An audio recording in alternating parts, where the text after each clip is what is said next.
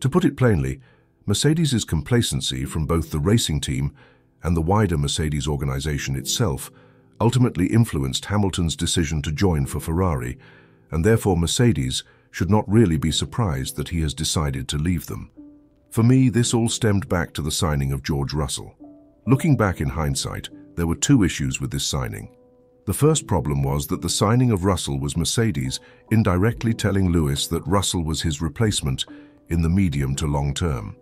This was an issue as there was no indication that Lewis was regressing as a driver, and when you also look at Alonso and his strong performances while being three years Hamilton's senior, there was no real reason for Mercedes to believe that Hamilton could not still be the team leader for another five years minimum.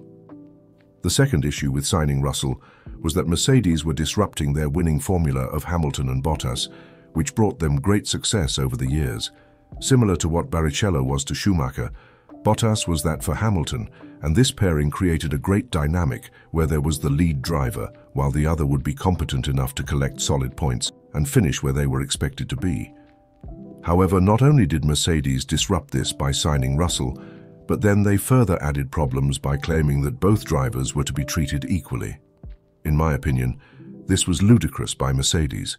Schumacher's status at Ferrari would have never been rescinded. Even with the signing of an up-and-coming prospect, neither would Verstappen's at Red Bull. Yet Mercedes felt that they should treat a driver with no achievements at that point in time with the same treatment as they would with the most successful driver in F1 history, and this right here was a little indication into how they did not really value Hamilton, like how he should have been valued. Moving on, I think that Mercedes' biggest mistake from both the Formula One team and the Mercedes organization itself is that they believed that Hamilton needed them more than they needed Hamilton. Mercedes began to feel as if no matter how good or bad they performed, that Hamilton would never leave them due to the emotional connection between them and the history that they had created over the past years, and this is why Hamilton signing for Ferrari caught them off guard because they thought that they had him wrapped around their finger.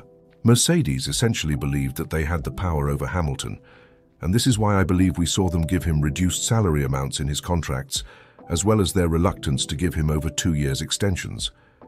If the relationship was ever going to end, Mercedes wanted to do it solely on their terms, and I believe that they were slowly phasing him out the door for the end of 2025 where they would replace him with Kimi Antonelli.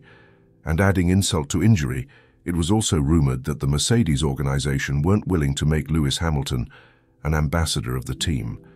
And I think that this was the straw that broke the camel's back for Lewis to leave the team.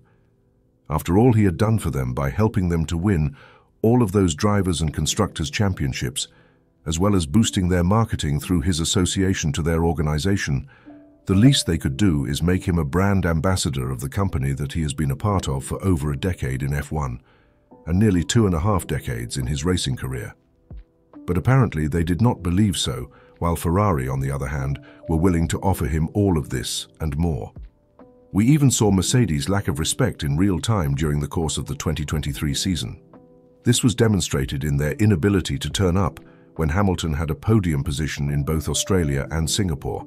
And we even saw it at the final race in Abu Dhabi, where Mercedes were acting as if Russell secured them P2 in the constructors, despite Hamilton carrying the whole team on his back for the entire season, outperforming both the car and his teammate to achieve the P2 for the team.